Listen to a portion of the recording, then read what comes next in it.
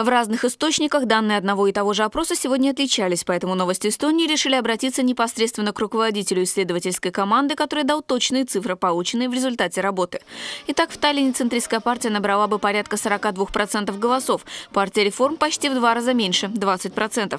Социал-демократы сохраняют третье место, они получили бы порядка 12% голосов.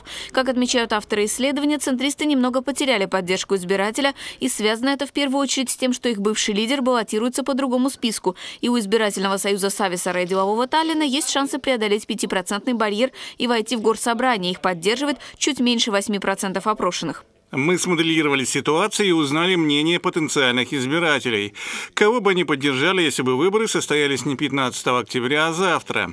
Поскольку уже известны партийные списки, списки союзов и независимые кандидаты, то люди рассказывали о своих предпочтениях конкретно, и это позволило получить максимально точные результаты, приближенные к реальным.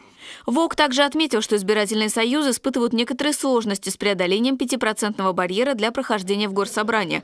Кандидаты союза и даже некоторые партии со слабой кампанией имеют очень мало шансов на успех. Маловероятно, например, что зеленым и свободным гражданам Таллина удастся преодолеть пресловутые проценты, пока их поддержка среди потенциальных избирателей очень мала. Консерваторов, несмотря на шумную скандальную кампанию, пока поддерживают тоже меньше, чем ожидалось.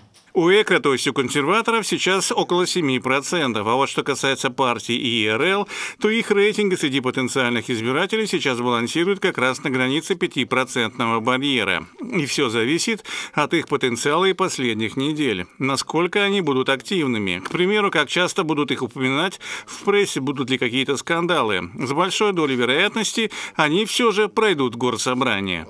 Если говорить о возможном исходе октябрьских выборов, то специалисты пока не берутся делать прогнозы. Удастся ли, например, центристам сохранить в Таллинском горсобрании большинство, разъяснив избирателям разницу между ними и списком Сависара и делового Таллина? Или переманит ли ИРЛ избирателей от ЭКРы, пока трудно прогнозировать. Но все же на всякий случай социологи советуют подумать о потенциальных коалиционных партнерах. Екатерина Плехова, Вячеслав Скалецкий, Первый Балтийский канал.